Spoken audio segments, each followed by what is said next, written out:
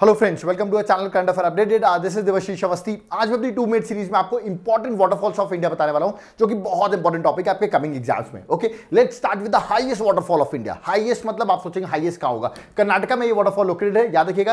Waterfall किस river पर है? वराही रिवर पर। आप सोचोगे इसका नाम क्या है दैट इज़ कुंचिकल वाटरफॉल तो हाईएस्ट वाटरफॉल है अराउंड थर्टीन फीट का वाटरफॉल है, जो कि इंपॉर्टेंट है। कभी कर्नाटका जाए तो इस वाटरफॉल को ज़रूर विज़िट करें। डिस्ट्रिक्ट इतना इंपॉर्टेंट नहीं होता है, शिमोगा डिस्ट्रिक्ट है वैसे बट याद रखना किस स्टेट में लोकेटेड है ये रिमेंबर सेकेंड बात करें नोहा कलाइकल वाटरफॉल की बात करें, याद रखिएगा नोहा कलाइकल वाटरफॉल इसलिए इंपॉर्टेंट है क्योंकि ये high tallest plunge type waterfall है।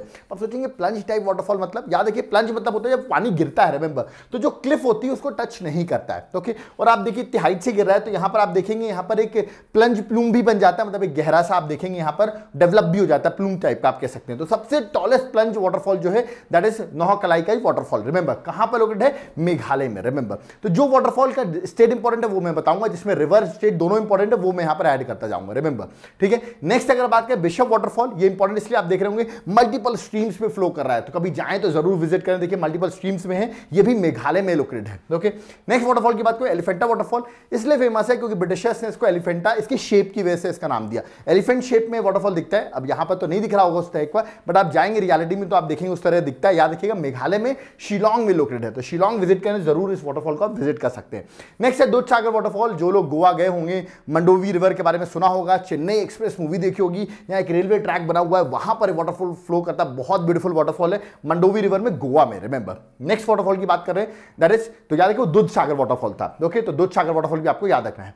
नेक्स्ट है चुलिया वाटरफॉल सी से याद रखना आपको चंबल रिवर पर है, लेकिन ये मध्य प्रदेश में नहीं है लोग मध्य प्रदेश से कंफ्यूज हो जाए, ये कोटा में है that is at Rajasthan remember okay next waterfall है, धुआंधर वाटरफॉल जो मध्य प्रदेश से है रिमेंबर नर्मदा रिवर पर है वाटरफॉल याद रखिए सेंट्रल इंडिया का बहुत इंपॉर्टेंट वाटरफॉल है, जबलपुर, मध्य प्रदेश में लोकेटेड है that is Dhuandhar waterfall okay next है राजरप्पा वाटरफॉल इंपॉर्टेंट इसलिए है रिमेंबर क्योंकि ये जो है दो रिवर के कन्फ्रेंस के बाद ये वाटरफॉल बन रहा है, जो कि झारखंड में है रिमेंबर झारखंड में रामगढ़ जगह वहाँ पर बन रहा है। किस रिवर पर? दामोदर रिवर और याद रखिएगा जो वहाँ की भैरावी रिवर है रिमेंबर इनके कन्फ्रेंस के बाद ये वाटरफॉल डेवलप होता है तो ये इंपॉर्टेंट है, झारखंड में रामगढ़ में लोकेटेड है ओके राजरप्पा वाटरफॉल नेक्स्ट बात करें Hundru waterfall again very important एक बहुत फ़ेमस रिवर है सुबर्ण रेखा रिवर रिमेंबर उसी पे वाटरफॉल झारखंड में रांची में बनता है। तो रांची विज़िट करें तो वाटरफॉल इंपॉर्टेंट हो जाता है।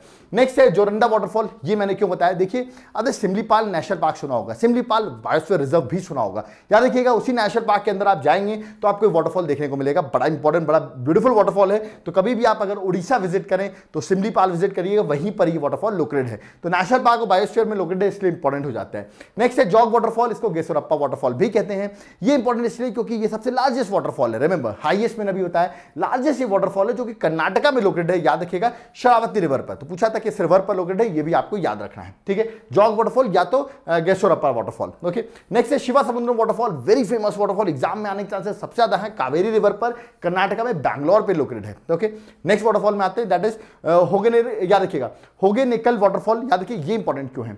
होगे निकल वाटरफॉल की बात करें तो कावेरी रिवर पर वाटरफॉल है और तमिलनाडु पे लोकेटेड है रिमेंबर ये भी क्वेश्चन मैंने एग्ज़ाम से बहुत स्टेट पीसेस में देखा हुआ है तो आपको हेल्प करेगा ये वाटरफॉल ओके नेक्स्ट है, कपिल धारा वाटरफॉल मध्य प्रदेश से बिलोंग कर रहे हैं अमरकंटक सुना होगा, मध्य प्रदेश में रिमेंबर नर्मदा रिवर यहाँ से ओरिजिनेट होती है। यहीं पर बहुत फ़ेमस कपिल धारा वाटरफॉल लोकेटेड है। ओके मध्य प्रदेश में बहुत ही वाटरफॉल अगेन याद रखिएगा बीहड़ रिवर है, वहाँ की लोकल रिवर है रीवा डिस्ट्रिक्ट मध्य प्रदेश रीवा मध्य प्रदेश में वहाँ पर ये बहुत ही वाटरफॉल फ्लो करता है।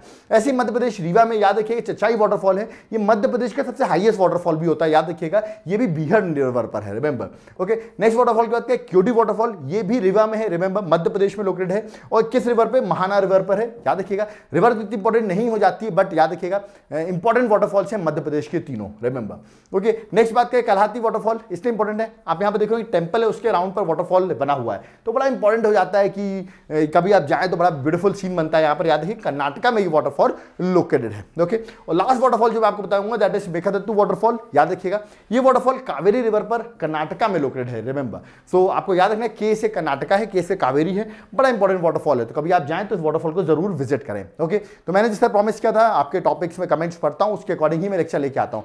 नेक्स्ट कमेंट क्या आने वाला है? कौन सा कमेंट सेलेक्ट होगा? और उसके अकॉर्डिंग ही नेक्स्ट लेक्चर डिसाइड होगा रिमेंबर तो कमेंट करते रहिए कि आपको कौन सा लेक्चर चाहिए अगला टू मिनट सीरीज़ में, जो जल्दी से हम यहाँ पर बता सके रिमेंबर और हमारे हैंड एंड नोट्स लॉन्च हो गए जहाँ पर आपको कोई भी कमिंग एग्ज़ाम्स में अगर आप जनरल स्टडीज़ आपके आ रहे हो रिमेंबर तो नाइन बुकलेट्स हैं कंप्लीट यूपीएससी की बुकलेट्स हैं रिमेंबर यूपीएससी लेवल की बुकलेट है तो आपको हर एग्ज़ाम में हेल्प कर जाएँगी। तो अगर आप उन बुकलेट्स के सैंपल देखना चाहते हैं तो उनके के वीडियो मैंने लॉन्च कर दिया है। एक बार डिस्क्रिप्शन बॉक्स में जाओ, मैंने लिंक भी दे दी आपको। कोई डाउट क्वेरी आप हमसे पूछ सकते हैं नोट्स के बारे में आप व्हाट्सएप कॉन्टैक्ट कर सकते हैं।